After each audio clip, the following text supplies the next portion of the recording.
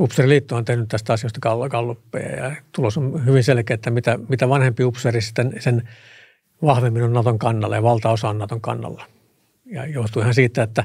että mitä vanhempi upseeri on, niin sen parempi kuva on niistä puolustuksen realiteeteista, mihin me pystytään, mitkä ne uhat on